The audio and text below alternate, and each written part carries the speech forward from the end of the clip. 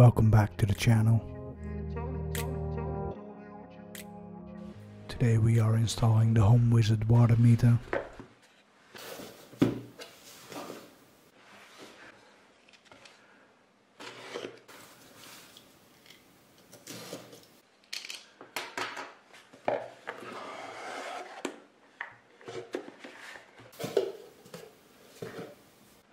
First we find the manual.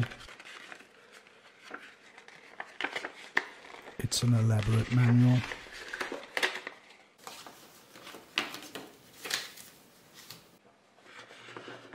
Then we have the water meter.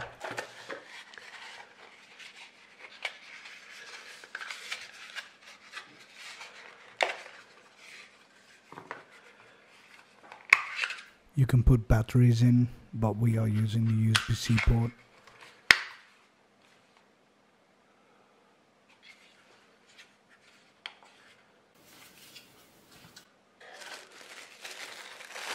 Then we have the mounting brackets. These different brackets can be used in all the different water meters you saw in the manual.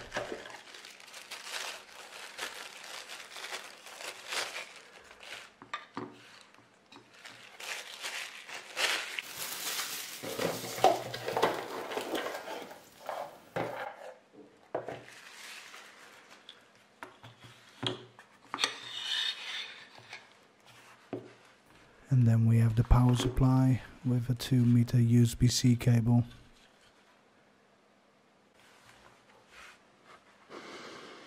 When we take a look at the manual, the most important information is that when you use batteries, it will only be updated 4 times a day. When you use the power by cable option, it updates real time. We're going to do the last option. Now before you begin, check which meter you have and check the manual which bracket we need. It's this one, that means we need this bracket with this screw. My meter is new, so I have to remove this piece of plastic to reveal the thread for the screw. Then we put on the mounting bracket and secure it with the provided screw. I apologize for the blurry image, my tripod shifted a bit.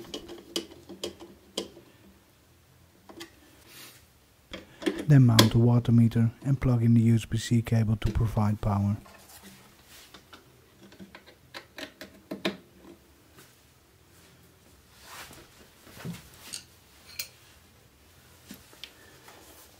Now it's time to open the app. If you do not have the app, you can download it in the store for your device.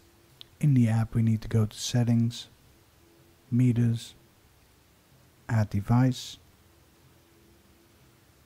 and then we select water meter. After this, you just follow the steps on your screen.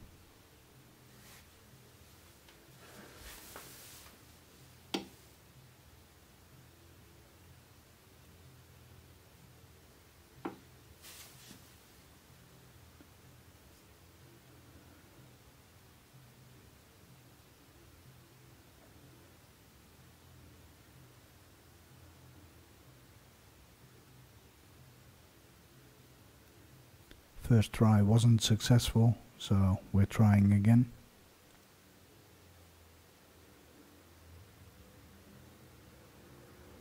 Do you want to connect with the water meter's Wi-Fi? Yes, we want to do that.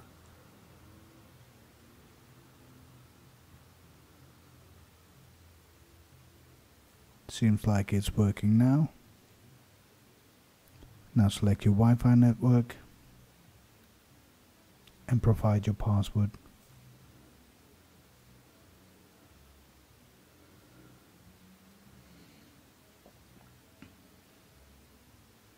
When it's connected, it will be added to your home.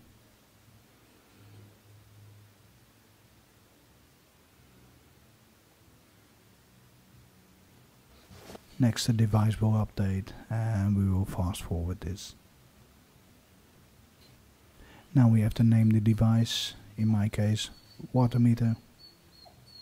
And now it wants to calibrate. So we open the tab and calibrate the water meter.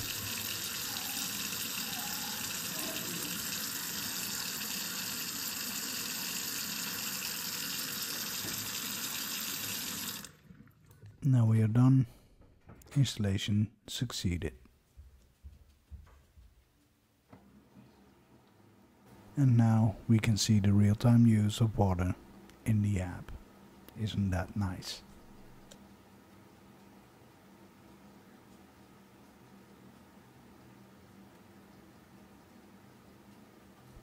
When we close the app, we will add the water meter to Home Assistant.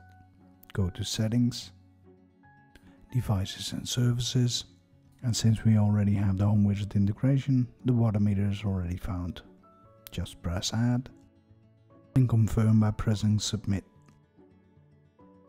We now get an error that the local API is not activated, so we open the app and go to the device to activate the local API.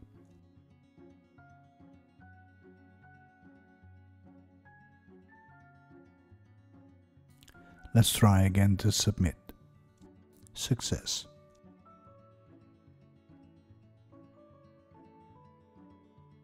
Now we will add it to the energy dashboard. Click on energy configuration in the top right corner and then click on add water source. Select the water meter sensor and click on save. You can fill in the prices, but I did that later.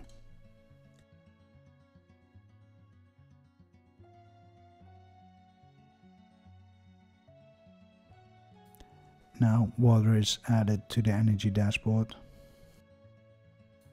The stats will build over time, so the first time you open this graph, it will not be filled with any data.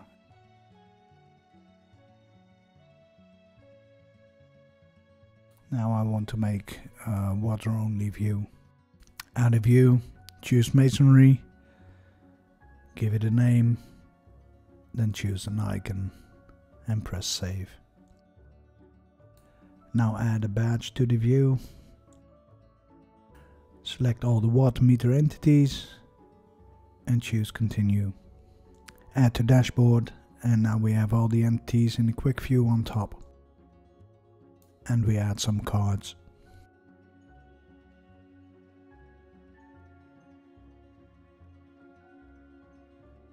And I added two more Apex chart cards. If you want more information about Apex chart cards, please leave a comment below and I'll try to answer them as soon as possible. I'm still learning.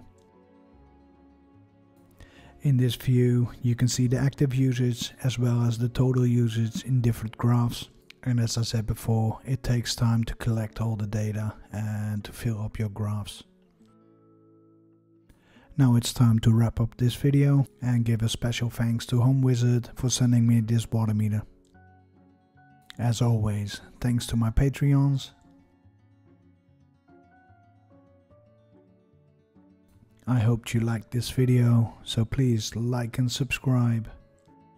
If you wish to contact me, feel free to reach out. And I thank you for watching, and I'll see you in the next.